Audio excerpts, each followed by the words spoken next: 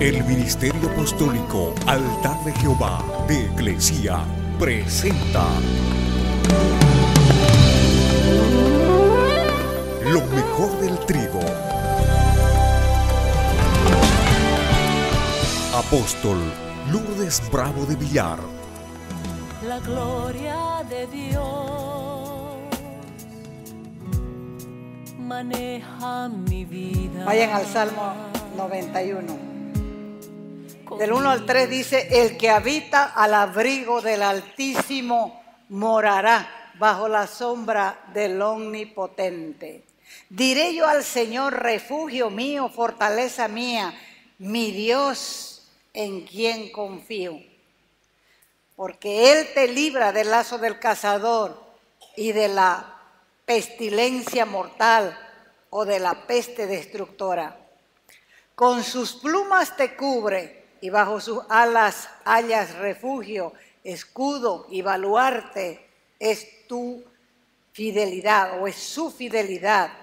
Verso 5, no temerás el terror de la noche, ni la flecha que vuela de día, ni la pestilencia que anda en tinieblas, ni la destrucción que hace estragos en medio del día.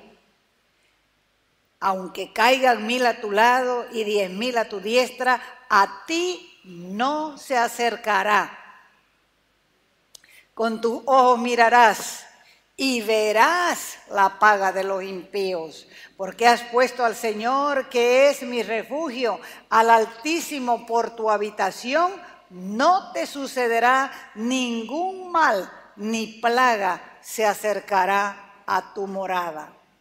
¿Es para vivos o es para muertos? Para vivos. Una de las realidades más profundas en nuestras vidas es la necesidad de protección. Porque el hombre es uno de los seres biológicos más indefensos considerado con otros seres del mundo animal. El proceso de su crianza y formación es muy largo. Fíjese que los animales nacen, se levantan y comienzan a caminar.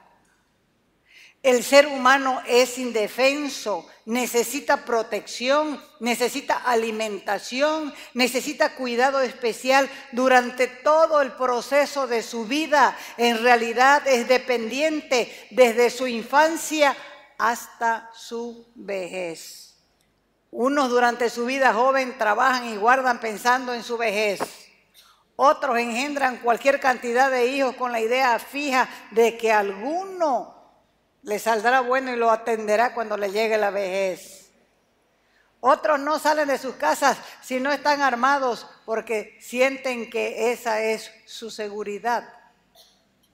Otros buscan brujos en una, buscando una falsa protección y conocimiento de su futuro para sentirse seguros. El único ser humano que tiene promesa de protección y seguridad es el creyente en Cristo, siendo la fe la llave que abre la puerta del contacto con Dios.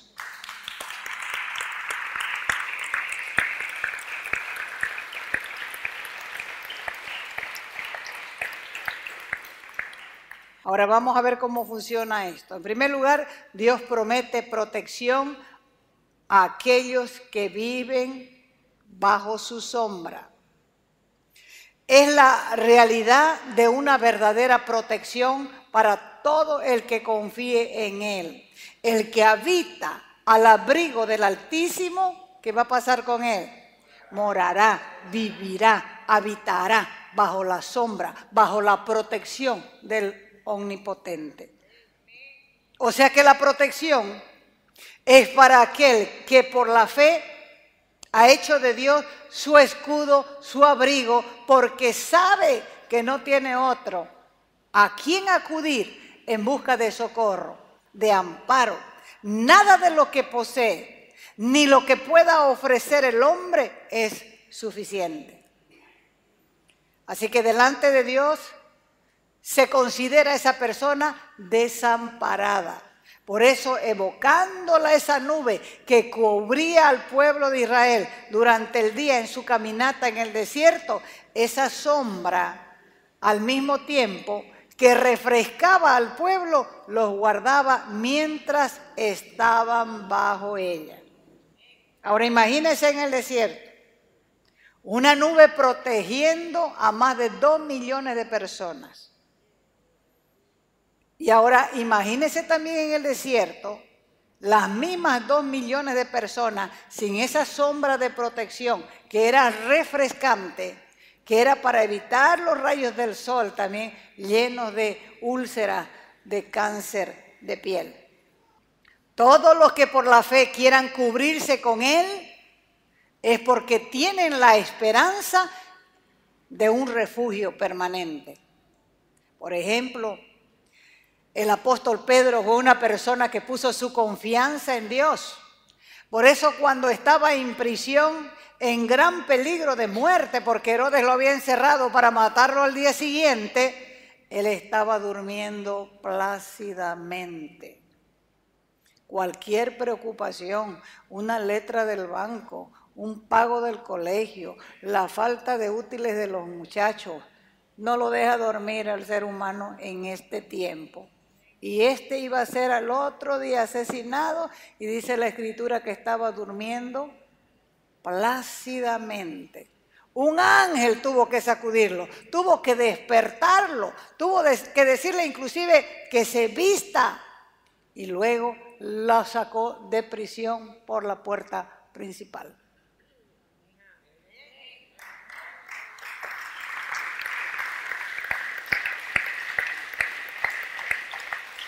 El Salmo 91 dice que a sus ángeles mandará acerca de ti que te guarden en todos tus caminos.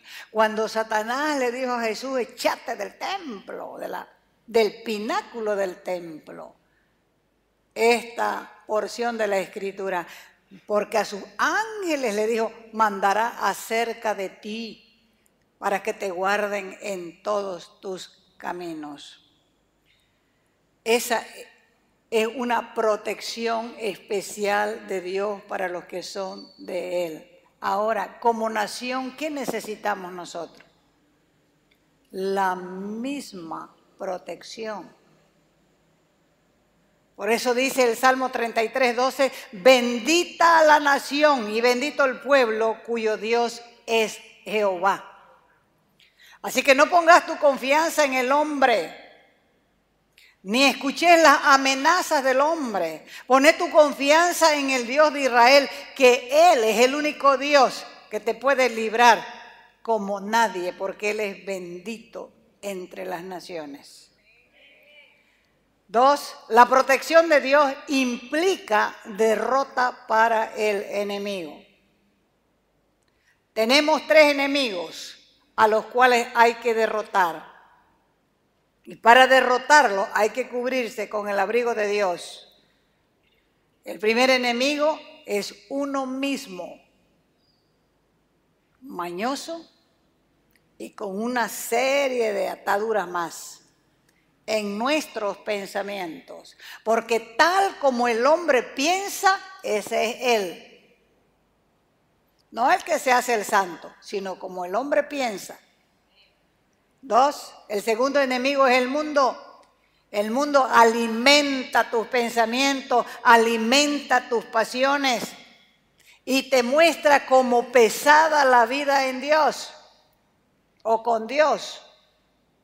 Y el tercer enemigo es el mismo Satanás que no cesa en el intento de atacarnos quitándonos la paz para que nos apartemos de Dios. Por eso es que la gente dice, es difícil estar en la fe. Sí, Gonzata. La promesa de Dios para ser cubierto es la fe. Si tenemos fe en la verdad de Dios, en lo que Él dice, entonces Él mismo te librará del lazo del cazador, de sus trampas, en todas las áreas otro ejemplo. Pablo y Silas estaban en la cárcel de Filipo. Dice que estaban en lo más profundo de la cárcel. Estaban en el cepo, pero estaban confiando en Dios. Por eso cantaban. cantaban alabanza y mientras los demás presos escuchaban. Escuchaban y recibían consuelo para sus propias penas, para sus propias almas y fueron testigos de un grandísimo milagro. Dios mismo los liberó a través de un terremoto que al final convirtió aún al carcelero. Porque cuando el carcelero vino a ver los presos y no los encontró, él sabía que lo que le esperaba era la muerte por haber dejado escapar los presos. Así que agarró su espada y quiso suicidarse, echándose en ella. Cuando escuchó la voz de Pablo que le dijo, no te hagas ningún daño, todos estamos aquí. Y el carcelero temblando encendió su antorcha y los miró. Y estaban todos ahí. Así que se acercó a Pablo y le dijo, ¿qué puedo hacer para ser salvo? Estaba asombrado. Hubo una conversión general ahí. Los presos, el carcelero, su familia, sus sirvientes, todos se convirtieron. Y Pablo le dijo, cree en el Señor Jesucristo y serás salvo tú y tu casa. Y en aquella misma hora, dice, a medianoche hizo cocinar para ellos. Les invitó comida, lavó sus heridas, seguramente pidió una enseñanza más y al otro día lo soltaron.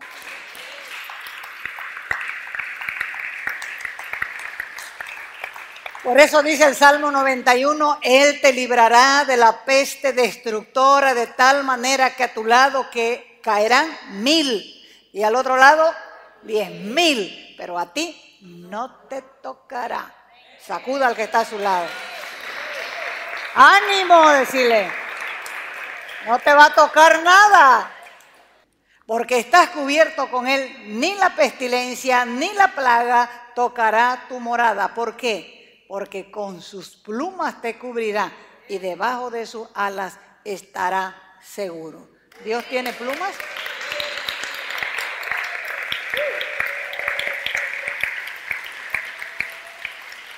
Una pregunta, ¿Dios tiene plumas? ¿Y por qué dice con tus plumas te cubrirá? Porque está haciendo una comparación. Dios es comparado en primer lugar con un águila. ¿No es cierto? Pero también es comparado con una gallina que cuida sus polluelos, dice, y lo mete debajo de sus alas. A ver, hacer que sea una gallina que ha quebrado sus huevitos. Acérquese a ver si no le brinca y le picotea aunque sea el dedo gordo. ¿Y qué es lo que significa habitar al abrigo del Altísimo? Otro ejemplo, vean a Daniel y a sus amigos. Ellos habían determinado servir a Dios y no contaminarse con la comida del rey. Y esa fue una decisión, la de colocarse bajo la protección de Dios. Ellos mostraron fidelidad, fe, y cuando se los trató de obligar a adorar al ídolo que había hecho el rey, se atrevieron a desafiar al mismo rey y le dijeron, he aquí nuestro Dios, a quien servimos, puede librarnos del horno de fuego ardiendo y de tu mano, oh rey. ¿Quién se atrevería a decirle a un rey eso en otro tiempo? Recuerden, la reina Esther tuvo que ayunar tres días y el pueblo ayunó por ella tres días para que ella pueda entrar en la presencia del rey y hallar gracia. Porque según la ley, cualquier persona que entraba en la presencia del rey era,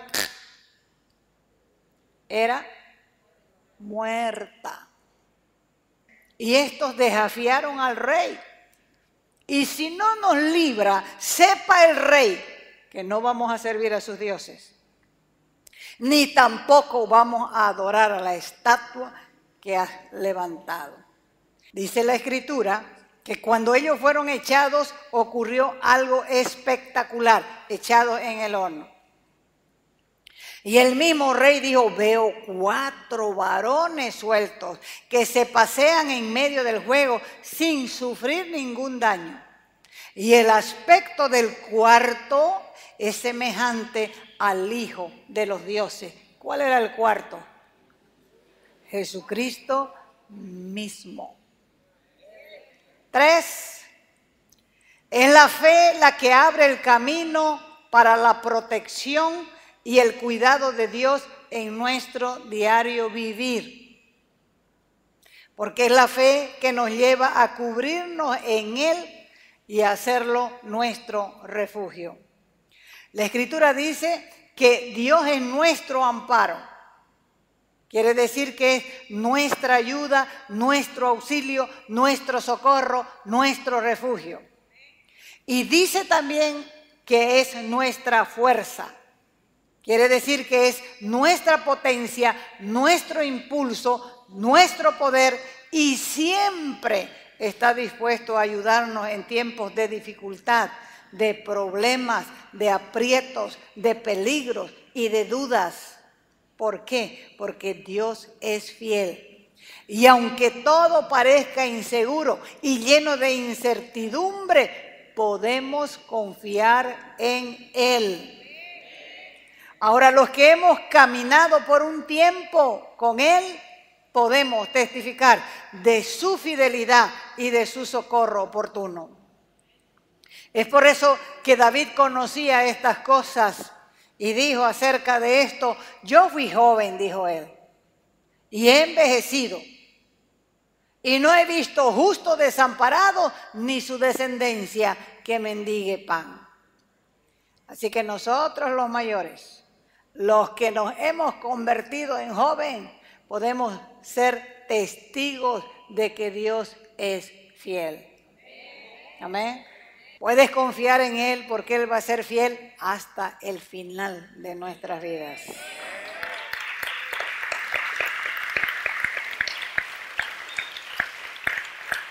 Es la fe la que nos lleva a permanecer esperando creyendo en Él aunque todo se vea negro. Él anhela ser nuestro socorro en los momentos de angustia, en los momentos de ansiedad, cuando todos nos fallan. Tenemos la promesa de que Él no nos fallará, porque no confiar en Él y no depender de Él sería el peor error que logremos hacer.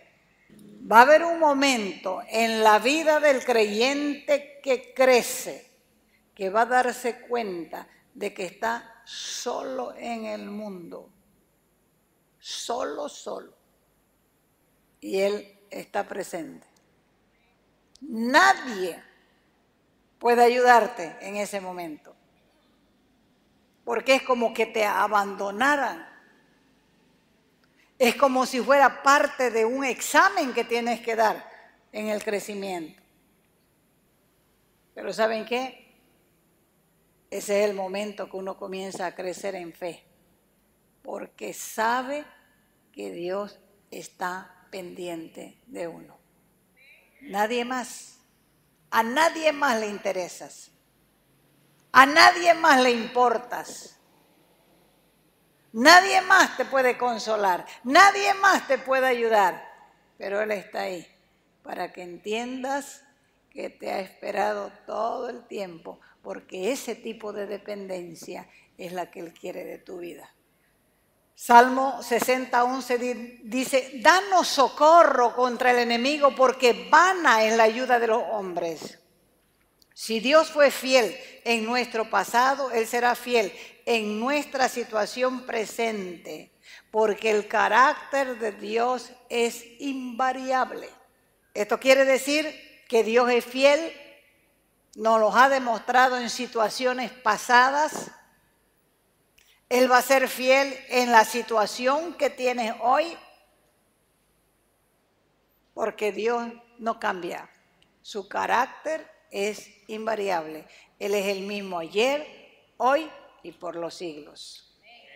Es la fe que nos lleva a confesar con nuestra boca como un hecho realizado lo que esperamos ver de Dios. Es por eso que tenemos que hablar en, positivo. No importa que las tribulaciones crezcan, nosotros podemos confesar victoria aún antes de ver la victoria.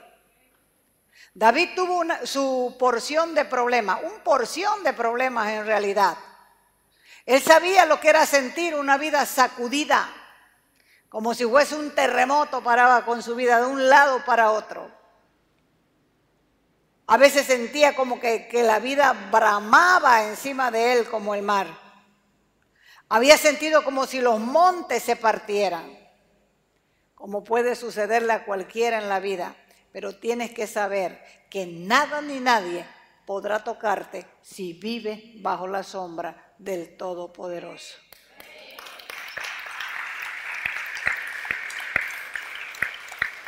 Es por eso que Dios quiere infundirte aliento en medio de los problemas.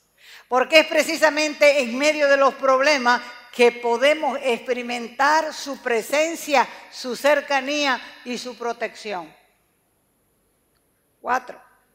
Es la fe que aumenta nuestra confianza, abriéndonos los ojos para poder entender que las promesas de Dios son fieles y seguras. Naúm 1.7 dice, Jehová es bueno, fortaleza en el día de la angustia y conoce, dice, a los que en Él confían. Cinco, la fe que es tenaz e intransigente cree firmemente en Dios y espera con paciencia su respuesta. Ahora el mundo entero atraviesa un tiempo aterrador.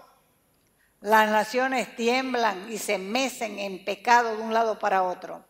Porque no hay lugar en el mundo donde la gente no esté pecando ahora mismo. Así que los problemas personales se multiplican, pero en medio de todo ese problema hay consuelo en Dios. El Salmo 46 dice, yo estoy en medio tuyo. Yo estoy contigo. A través de todo esto, mi pueblo no será destruido o sacudido. Voy a hacer una ayuda siempre presente para mi iglesia.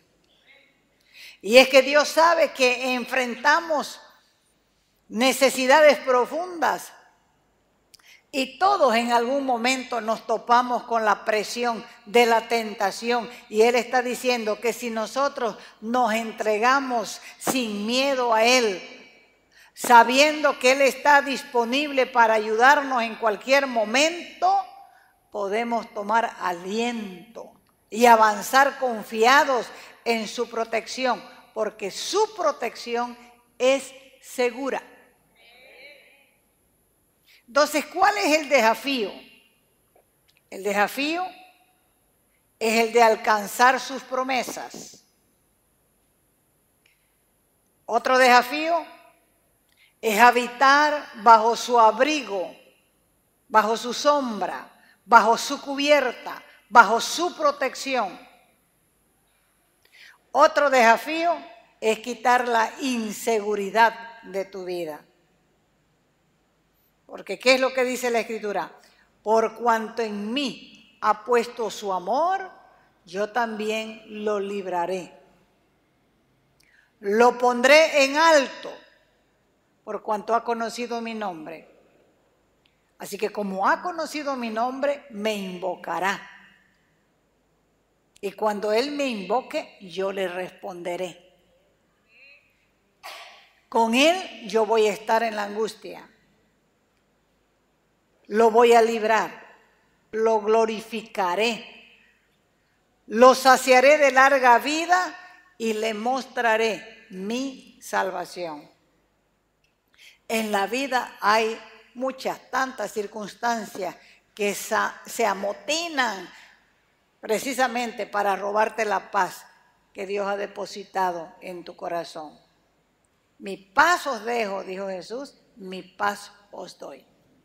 Entonces muchas cosas pasan en la vida, pero en medio de todas ellas, si confiamos en el Señor, Él va a estar presente para protegernos y nunca nos defraudará. Nunca.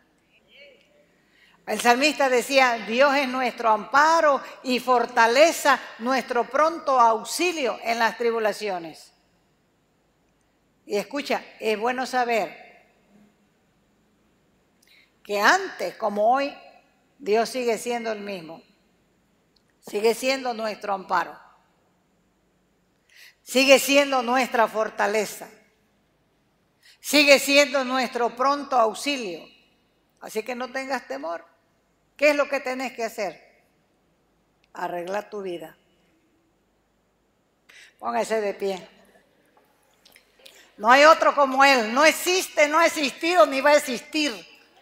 El que deposite su amor en Él, nunca Dios le va a fallar. Los que quieran ser felices, levanten su mano más alta. Aquí estoy yo, Dios. Dígale al Señor. Yo quiero ser feliz. Pero he sido tan torpe que he estado buscando por abajo. Cuando es aquí arriba lo que está lo mejor. Dios amado, yo quiero darte gracias. Porque vos querés que yo sea feliz. Si tú abres mis ojos espirituales, yo podré ver a mi lado tu presencia eso quiero ver, Dios. Y aunque no lo viera, puedo creerlo. Yo puedo acercarme a tu trono confiadamente, porque Jesús abrió el velo para que yo ingresara al lugar santo.